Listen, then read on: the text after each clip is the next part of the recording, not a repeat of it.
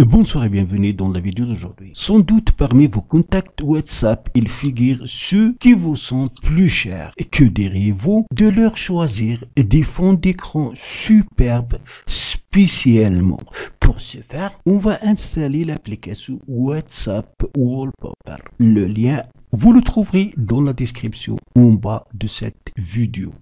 Une fois que vous allez l'installer, vous n'allez même pas trouver son écran sur l'écran de votre appareil. Tout simplement, les fonds d'écran vont être transmis automatiquement dans l'application WhatsApp normale. Donc pour l'utiliser, vous allez ouvrir votre application WhatsApp, choisir la discussion pour laquelle vous souhaitez ajouter un fond d'écran à partir de cette bibliothèque. Par exemple, on va prendre cette discussion, donc on la touche. Après, on va aller dans les trois points ici, fond d'écran, et on va choisir bibliothèque de fond d'écran. Voilà de super fonds d'écran que vous pouvez utiliser comme fond d'écran ou comme arrière-plan dans, dans les discussions WhatsApp. Si on souhaite utiliser celui-là, donc on le touche.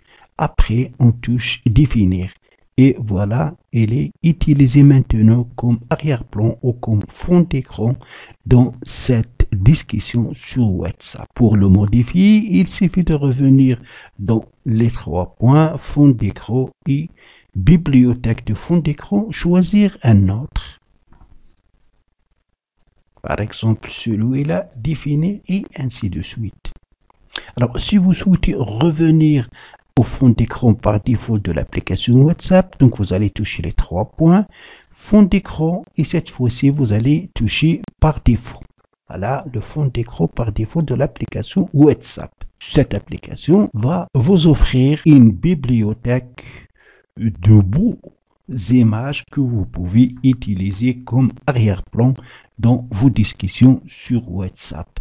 Ainsi, vous allez pouvoir choisir pour chaque discussion selon son degré de lien avec vous un fond d'écran spécial ou spécifique. Vraiment, il y en a pour tous les goûts. Voilà donc c'est tout pour la vidéo d'aujourd'hui. Merci de l'avoir suivi. N'oubliez pas de la partager avec vos amis sur les réseaux sociaux. Et pour ne rater aucune de mes prochaines vidéos, veuillez vous abonner à la chaîne et aussi activer la cloche pour recevoir les notifications des nouvelles vidéos. À la prochaine fois.